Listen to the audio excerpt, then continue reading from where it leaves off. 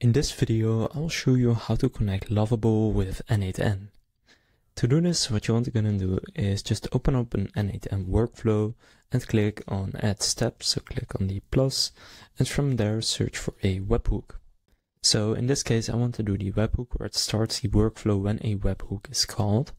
And then what you want to do is here under HTTP method, set it to post, and then here click on the link to copy it. Now open up Lovable and go to your project that you want to connect with N8N and often you will want the connection to have something to do with when somebody does a certain action such as clicking a button.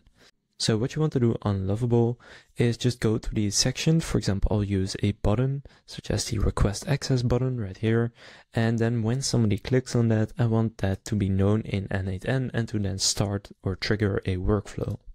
So to do that, click on the edit icon right here and then click on the request access button or whatever else you want to use it for.